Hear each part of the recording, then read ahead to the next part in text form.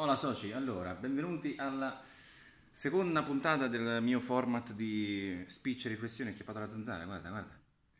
Ehm, su IGTV, sul mio canale Instagram TV, abbiamo parlato di libertà, abbiamo esordito con una cosa semplice proprio, eh, però io ho semplicemente lanciato una serie di suggestioni sul, sul tema della libertà, in realtà in otto minuti ovviamente non si può sicuramente eh, sviscerare un, una tematica su cui la gente sta dibattendo da millenni, eh, però ci fa piacere pensare comunque che stiamo portando avanti un po' una, una conversazione in questo senso. Allora ho pensato che poteva essere carino, siccome sono arrivati un bel po' di commenti eh, anche molto interessanti, eh, alcuni a sostegno di quella che poteva essere una mia tesi, anche se io in realtà non è che avessi proposto proprio una tesi altri invece eh, con altri spunti e differenti punti di vista. E volevo mm, passare un attimo in rassegna alcuni di questi commenti e aggiungere qualche altro spunto di riflessione eh, nato anche dalle conversazioni eh, che ci sono state anche in privato mm, via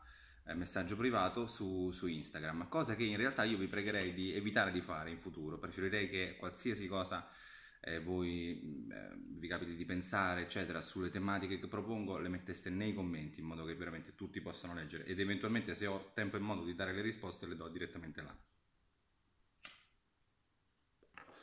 Quindi la premessa era che era la domanda se eh, l'uomo sia effettivamente più libero Uh, quando si trovi in una situazione virtuale di assenza di limiti, assenza di confini, oppure se i confini e i limiti stessi siano una condizione sine qua non per potersi esprimere liberamente, per poter esistere liberamente e quindi manifestare la propria libertà. Eh, io sono abbastanza della seconda opinione. Eh, diciamo che tra i commenti vorrei subito uh, blastare, ma non per cattiveria, ma perché vorrei eliminare dalla discussione le soluzioni facili, quindi magari... Eh, le definizioni cliché eh, che, che, capitano, sono, capitano per forza, in questo caso sono, ne sono capitate pochissime, però mh, mm, le sottolineiamo solo per dire, tipo, ad esempio le frasi tipo eh, la mia libertà finisce dove, dove, inizia la libertà altrui, eh, oppure non c'è schiavo più grande dell'uomo che pensa di essere libero eh, che in questo caso è stata uh, attribuita a Marrakesh, nel senso che eh, Marra l'ha usata in un pezzo, ma è, non è evidentemente sua, è una fase pre- precedente eh, di non so chi. E, um, questi cliché, nonostante vadano benissimo e siano molto comodi e utili per essere utilizzati nello breve spazio di un pezzo rap, ovviamente in una discussione realistica, con un minimo di finalità eh, di evoluzione, eccetera, lasciano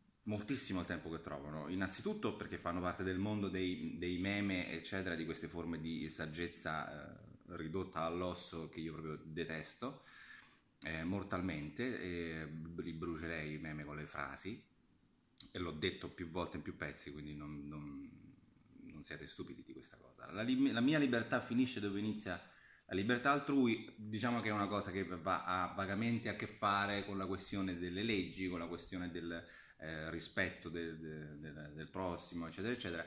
Chiaramente parla solo di libertà in termini di ehm, azione e quindi espansione da sé verso l'esterno e quindi eventualmente invasione dello spazio eh, vitale degli altri. Quindi io sono libero di... Eh, correre fino a che non entro nella proprietà di un altro, sono libero di dare un bacio in bocca a tutte le persone che conosco fino a che non trovo quella a cui dà fastidio, cose di questo tipo. Stiamo parlando di un mondo veramente le cui variabili sono talmente infinite e relative che è, è inutile proprio discuterne. Eh, per esempio, dico io sono, li, sono libero io di andare in giro nudo perché voglio di andare in giro nudo? In alcuni paesi sì, in alcune spiagge sì, per, eh, in, in, morali, in, alcuni mondi morali non lo sono, ma allora che cos'è la pudicizia, cosa significa nascondere le proprie grazie, cioè, entriamo in un ambito che non ha nessuna, nessuna fine e, e, neanche nessun senso ai, ai fini della mh, conversazione sulla libertà. E, um, l'altra è che invece non c'è schiavo più grande di, dell'uomo che pensa di essere libero, anche questa è una cosa estremamente contorta Eh, schiavo di chi? Schiavo di se stesso. Se un uomo pensa di essere libero e in realtà quindi quest- questa frasina eh, implica che nessun uomo è libero e, e, quindi nessun uomo può ammettere di essere, può pensare di essere libero o dirlo perché altrimenti si, si sta autodefinendo uno schiavo. Anche qui è estremamente vaga, estremamente imprecisa. Quindi eliminiamo da questo tipo di conversazioni eh, i cliché che non ci servono. Andiamo a dare un'occhiata invece a qualche commento mh, mm, che non è male. Mm, ad esempio, una, una, buona sintesi è questa, in pratica la libertà sta nel modo di agire di fronte ai propri limiti, infatti i limiti ci sono ma questi non escludono la possibilità di scegliere se e come affrontarli e magari anche superarli. Ecco questa già è una ottima eh, sintesi della, della questione. Um, poi ci sono le risposte eh, a questo commento. Um, la libertà è, un, è, la consapevolezza di se stessi, anche questa è molto vaga come cosa, eh, sì, chiaramente quando un uomo è consapevole di se, stessi è, di se stesso è anche consapevole dei propri limiti ed è quindi libero di agire all'interno di questi, di questi limiti. E, um, questo è anche interessante perché pone proprio il dovere. Quando ci sono dei limiti allora sono in dovere di sentirmi libero, libero di esprimermi a riguardo. Se ci fosse solo la libertà non ci sarebbero limiti da superare, esattamente quello che ho dato come assunto iniziale nello speech precedente, no? con l'esempio di Baricco, se, se avessi infiniti tasti, questo pianoforte avesse infiniti tasti, io non mi siederei neanche a suonarlo. Cioè la libertà assoluta eh, in realtà non consente la manifestazione eh, della libertà, diciamo non la libertà assoluta, ma la, la, la opportunità infinita di fare qualsiasi cosa non consente di manifestare la propria libertà. Ehm questo ha fatto 900 a teatro, quindi è rimasto molto colpito e dice cose interessanti. Oltre che da un punto di vista umano artistico si possono riscontrare questi concetti anche nella psicologia di base. In molti casi gli sfoghi di rabbia, depressione, delusione verso se stessi nei ragazzi della mia età sono dovuti a buone, ottime, eccellenti capacità o, talento, o talenti, ma poiché non, vengono, non trovano uno sfogo effettivo vengono espresse in forme esplosive e spesso non connesse. Se prendi il, de, il, il treno migliore del mondo ma non gli dai i binari resterà lì fermo a rovinarsi. Eh, questa è, è, un'ottima riflessione, eh, va a un punto a cui io sarei voluto arrivare forse anche più avanti in questi speech che accenno, ma il senso è proprio questo, cioè se la libertà è una delle condizioni eh, per un'esistenza soddisfacente, allora è chiaro che anche il fatto di avere eh, un obiettivo, dei binari, di avere una direzione verso cui muoversi, scelta liberamente tra le infinite opzioni che abbiamo di fronte, è una chiara manifestazione della propria libertà e, e dà significato alla propria esistenza. Ma questo lo vedremo più esaustivamente più avanti. Uh, questo di Andrea di Salvatore, secondo me il punto è che la libertà viene scambiata per libertinaggio. Non avere limiti è giusto se, se eh, a dettare il da farsi sono i valori il vero problema è la mancanza di lavori, eccetera, eccetera. Qui però c'è una cosa molto interessante, continua, è molto valido l'intervento eh, di Andrea Di Salvatore, mi vorrei soffermare su questa cosa perché è una cosa che è ricorsa poi in altri commenti anche privati che mi sono arrivati o ad altre piccole cose, e cioè questo, è importantissimo fare una di, distinzione fondamentale tra la libertà e il libertinaggio, come lo chiama, come lo chiama lui, e cioè un conto è la libertà la, la manifestazione nell'atto pratico, verbale, fisico, creativo, fattivo, eccetera, eccetera, imprenditoriale della propria libertà, quindi l'esercizio della libertà, un conto è esistere in una condizione di libertà che significa intesa come libertinaggio, intesa come faccio quello che cazzo mi pare. Faccio quello che cazzo mi pare in, soprattutto nella fase adolescenziale, viene scambiato per libertà, erroneamente, mentre invece altro non è che l'assenza di responsabilità e l'assenza di aspettativa, sia da parte degli altri verso l'individuo, sia da parte dell'individuo verso se stesso. Quindi il fatto di dire eh, io posso permettermi di eh, sprecare soldi, posso permettermi di buttare il tempo facendo cose stupide, per, sono libero di... Eh, essere superficiale, essere leggero, essere eh, privo di senso, privo di direzione, eccetera, eccetera, quella non è appunto libertà, ma è, non è esercizio della libertà, ma è libertinaggio, è vaghezza. L'assenza di responsabilità in questo senso va proprio in antitesi con quello che abbiamo detto prima, cioè col fatto di avere dei binari. Avere dei binari e quindi ehm, un obiettivo da raggiungere attraverso degli step, attraverso un, un percorso iterativo, eh, ci dà, dà, significato a noi, alle nostre esistenze, eccetera, eccetera. L'assenza di questo obiettivo e quindi la totale assenza di responsabilità, di aspettative anche da se stessi verso se stessi, invece eh, è pura vaghezza, è senza significato e non è esercizio della libertà, è una condizione di esistenza vaga che non ha neanche un significato. Quindi ho molta attenzione a, a parlo soprattutto ai più giovani, quando si rifanno a modelli, mh, mm, qui par, magari parlo, entro anche un pochino nella, in quella che è la dinamica di comunicazione di certe, di certe forme d'arte, eh, come anche la musica, come anche il rap, Fate molta attenzione quando incappate in personaggi che, mm, come posso dire, esaltano quelle fasi dell'esistenza, le fasi dell'esistenza libertine, le fasi dell'esistenza del divertimento puro, del, del sta senza pensieri, del, del, del, cazzeggio, eccetera, eccetera. Non perché il cazzeggio non sia importante, il cazzeggio è una cosa importantissima. Avere dei momenti nella vita in cui si fanno cose molto stupide, senza responsabilità, eccetera, eccetera, è una cosa importantissima.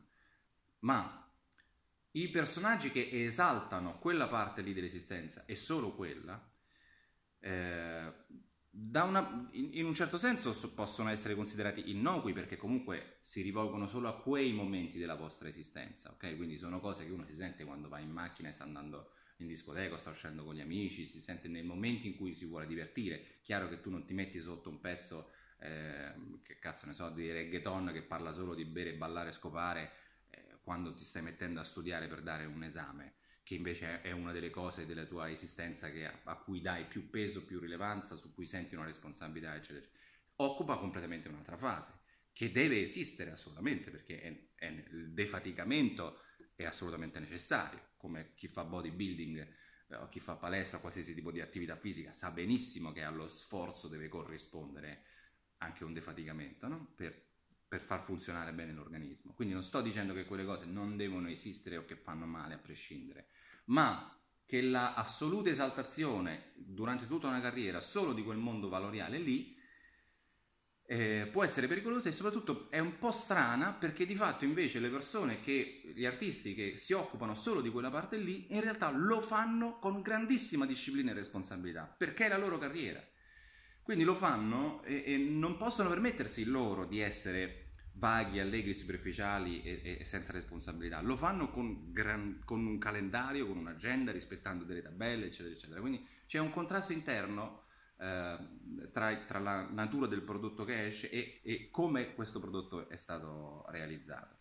Eh, tenderei, diciamo, tra virgolette, io come persona, quello che faccio io come ascoltatore è che tendo ad affidarmi molto di più ad artisti che attraverso le loro opere stesse mi dimostrano qual è l'equilibrio che stanno vivendo e quindi mi propongono una tabella di marcia molto più verosimile tra impegno, disciplina, responsabilità e divertimento, non a quelli che fanno solo quella cosa lì, perché è, è, diventa paradossale.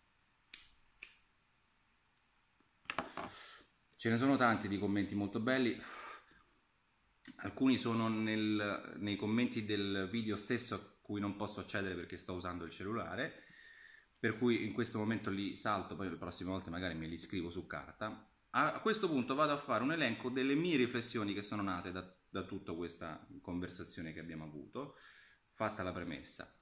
E, ehm, e partiamo da, da, da, un presupposto ancestrale, archetipico, eh, ovvero quello de, di, di, Dio, quello della creazione stessa. Parlo di Dio, non mi riferisco ad altre religioni, semplicemente perché è quella che conosciamo e mastichiamo meglio, e non parlo di Dio sen- nel senso religioso, nel senso da, non ne parlo da credente, ne parlo diciamo, come se, facciamo finta che ma in realtà il valore che sto dando a, a, ai concetti espressi eh, in termini religiosi, in termini biblici, eccetera, è un valore che ha a che fare col mondo della saggezza archetipica del, dell'essere umano.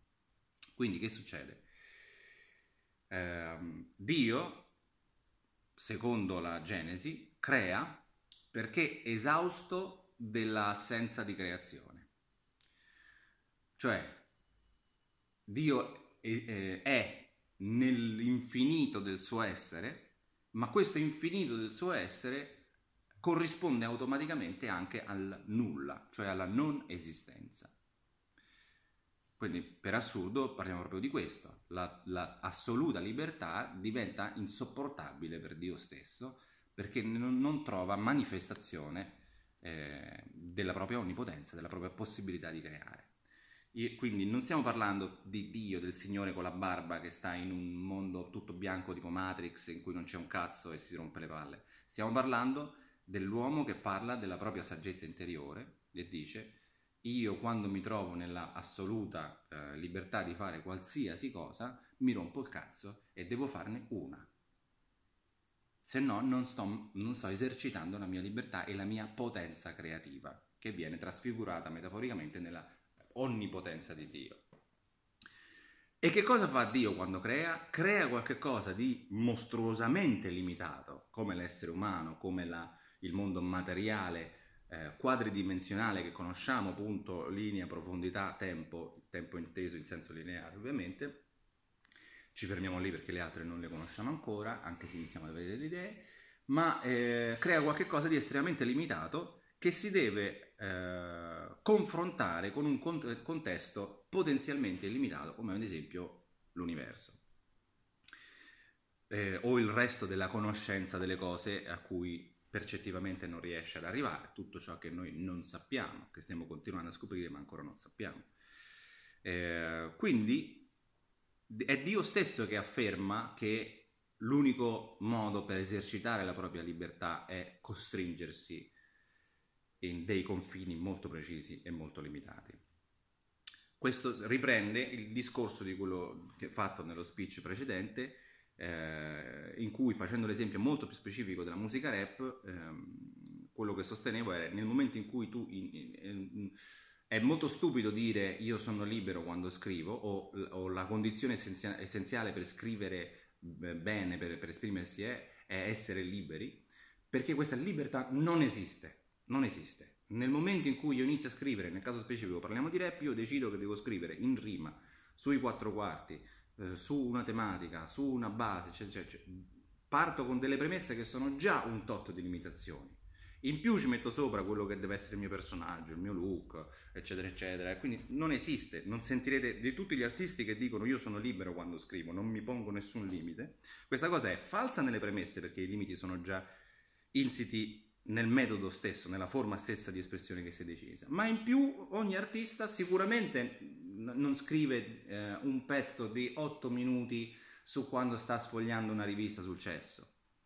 Seleziona una serie di momenti della sua esistenza o di momenti narrativi che immagina, eccetera, eccetera, al fine di eh, emanare dei messaggi molto precisi, di raccontare delle cose molto, e, e costruire un sistema valoriale che lo possa eh, rappresentare per, per, il suo pubblico. Quindi questa cosa è proprio una cazzata, eliminatela eh, dal vostro vocabolario, l'artista è, è, si esprime veramente solo quando è libero, non, è una cazzata. L'artista è libero perché si esprime all'interno di una serie di confini, alcuni già dati dalla forma stessa, alcuni autoimposti. Torniamo all'ancestralità all'archetipicità perché voglio fare altri, altri esempi. Um, una fo- che riguardano proprio il senso dell'esistenza. Cioè io sono convinto che una delle matrici del, del, dell'esistenza stessa sia la nostra capacità di intrattenerci e che es- l'espressione della nostra libertà abbia molto a che fare con il divertimento uh, dell'espressione e con il divertimento del problem solving, che è stato un, che, un termine che ha creato anche alcuni problemi in alcune conversazioni. Ovvero, uh, la maggior parte di voi, noi, eccetera, fa dei uh, giochi, sport, videogames, parole crociate, app sul cellulare, eccetera, eccetera. Perché facciamo dei giochi quando abbiamo del, del tempo libero? Mm, per intrattenerci, per, per, si dice per perdere tempo. La trovo molto sbagliata come espressione, ma comunque diciamo che è così. Che cosa accade realmente in questi giochi? Che noi scegliamo delle applicazioni, dei, dei sistemi, eccetera, eccetera, un campo eh, in cui ci sono delle regole molto precise, molto strette. Non toccare la palla con, i, con le mani, eh, mettere la, eh, la palla nel cesto, costruire, far entrare quel pezzetto di mattoncino in quel luogo per creare quella forma lì, eh, indovinare la parola giusta che va eh, a incastrarsi con le altre un'infinita serie di regole. E purtroppo eh, dobbiamo ammettere che non c'è nulla che ci dia soddisfazione quanto avere successo nella risoluzione di quei micro problemi che da soli noi ci costringiamo a risolvere. Quindi è chiaro che in questo meccanismo ci sia una fonte di piacere incredibile, quindi una diciamo, produzione di serotonina, una produzione proprio di soddisfazione, di sens- una sensazione di soddisfazione che viene proprio da una reazione chimica del cervello al momento della risoluzione del problema. Ed è chiarissimo che a un gesto atletico, quindi a un'azione molto corretta, fatta in modo molto eh, spontaneo, estemporaneo, eccetera, eccetera, corrisponde una maggiore soddisfazione. Cioè il gol in rovesciata quando la palla è rimbalzata in un modo che nessuno si aspettava, è una cosa che dà una soddisfazione incredibile nonostante fosse, sia successa in un ambito regolato da un'infinita quantità di, di regole che limitava il mio comportamento eh, in modo esponenziale. Eh, quella, quella, sensazione che proviamo è una sensazione di grande liberazione, cioè all'interno di quel sistema di regole io ho espresso, manifestato me stesso, mi sono realizzato in, in un qualche modo. Eh, Altro esempio, i bambini, uh, se tu metti a giocare dei bambini di 4-5 anni insieme nella sabbiera con dei giochini, eccetera, eccetera, li lasci per un po' di tempo, questa è una cosa che è stata studiata molto chiaramente, sia da neuroscienziati che da antropologi che da sociologi, eccetera. Um, ci mettono, boh, che ne so, mezz'oretta per stabilire un sistema di regole entro cui giocare. La cosa interessante, e questo forse poi è un discorso che riprenderemo, è che a seconda della fascia d'età queste regole sono implicite e non dette perché non c'è la possibilità verbale di articolare le regole. Eh, poi da una certa età in poi, tra gli 8 e i 12 anni per esempio, i, i bambini iniziano a poter dire come, come, funzionano le regole di quel gioco eh, e poi insomma, si va avanti fino all'età adulta in cui c'è addirittura la, la, la, l'orgoglio della creazione del sistema di regole, inizia il, il paradosso, cioè, eh, come si chiama, la, la sindrome di Dio, no? Però quando pic- anche quando sono piccolissimi e non riescono a dire come funzionano le regole, loro tra di loro le capiscono perfettamente. Capiscono chi deve fare cosa, chi è, chi è capo, chi è so, chi, se c'è una gerarchia, qual è la funzione degli oggetti, eccetera, eccetera. Quindi, nonostante siano apparentemente o per definizione le persone più libere in quel momento, più, più eh, assolte da qualsiasi tipo di responsabilità, di aspettativa, il comportamento naturale del, dei bambini messi in gruppo, messi in società, è di trovare un sistema di regole, perché solo all'interno di quel sistema si divertono eh, e trovano realizzazione, trovano, trovano, realizzazione della propria personalità, della propria, eh, trovano legittimazione della propria esistenza. E, ehm, questo ovviamente porta poi al, col tempo, eh, nel, nello sviluppo delle società, ad esempio alla creazione delle leggi, le leggi proprio intese come le leggi dello Stato, con un apparato eh, di polizia che serve a far, aiutare a preservare quelle leggi, eccetera, eccetera. E, è un'espansione di quell'idea di gioco con le regole. E questo non significa che noi non siamo liberi di trasgredire, perché sia da bambini che da grandi noi siamo liberissimi di trasgredire le regole che collettivamente abbiamo scelto. Qual è il punto? Che le regole che abbiamo scelto collettivamente le abbiamo scelte per garantire a tutti eh, la possibilità di eh, reiterare il gioco, cioè di continuare a vivere, di continuare a operare in un certo tipo di equilibrio. Questa cosa è stata notata nei bambini, cioè che il sistema di regole che i bambini creano è perfetto, è atto a, eh, ripro- riprodurre il gioco in continuazione, cioè a fare in modo che il, gio- che il gioco possa non terminare o ripro- riproporsi continuativamente eh, ha proprio questa caratteristica alla base. la legge, cioè il fatto di non uccidersi, eh, ha, ha, più o meno la stessa funzione, cioè a dire come, come comunità troviamo un sistema di regole che ci permette di continuare ad esistere, continuare ad operare insieme, a realizzare cose, a manifestare la nostra eh, libertà di espressione, la nostra personalità, eccetera, eccetera. In tutto ciò, chiunque è sempre libero di trasgredire queste regole, cioè il fatto che le regole esistano non limita assolutamente nessuno dal fatto di poter andare contro queste regole che sono state scelte collettivamente, salvo poi accollarsi la responsabilità o le conseguenze dell'aver trasgredito le regole. Le regole non sono state imposte da nessun ente esterno, sono delle persone, tra le persone, per le persone, il che significa che se noi insieme abbiamo più o meno deciso nel corso dei secoli che questo è il sistema di regole in cui vogliamo esistere, tu che trasgredisci vieni contro tutti noi che invece le abbiamo decise insieme, più o meno consapevolmente. Quindi ti devi accollare o di andare in galera o di scappare per tutta la vita, mm, se te lo vuoi accollare eh, non c'è nessun problema, nessuno ti impedisce di pagare le conseguenze delle, delle tue scelte libere. Quindi eh, più o meno questo è, è, è il senso di, tutto, di, tutti questi spunti, di, questi, di, questo elenco di cose, è cercare di, di um, dimostrarvi, almeno solo verbalmente, che uh, la condizione dell'esistenza in un ambito di regole non è in, assul, in, assum, in alcun modo privazione di libertà, ma al contrario l'esistenza delle regole è necessaria per poter affermare, per poter uh, esercitare la propria libertà, perché per definizione se non ci fossero de, de, delle regole io non potrei esercitare nulla, non starebbe accadendo nulla. Siamo arrivati a questo punto a 26 minuti, ho fatto una puntata di mezz'ora, però valeva la pena. Prossima puntata, non so, mi hanno suggerito il tema della felicità, e pure lì è una roba bella complessa. E, um, io voglio provare a, a portare avanti questi, queste riflessioni, anche lunghe, ma vorrei farvi notare che sta accadendo un po' in vari punti del mondo che delle riflessioni così complesse... Eh, questa, o questa forma comunque espressiva dei long form che possono essere fatte solo su IGTV o su YouTube al limite, su Facebook, stanno prendendo molto piede perché eh, in effetti la gente si sta un po' rompendo le palle sia dei contenuti brevissimi, nonostante ci sia, si sia diffusa questa, uh, questa, questo dato uh, oramai considerato va- valido per cui la gente non, ha uno span di attenzione brevissimo e non riesce a sopportare più di 12 secondi di un argomento. In realtà questa cosa è falsa, c'è tanta gente nel mondo che sta cercando contenuti molto più lunghi e molto più complessi, soprattutto perché iniziano ad esserci tante persone stufe della sintesi narrativa della televisione, eh, dell'assoluta mancanza di significato di moltissimi contenuti sul web, eh, eccetera.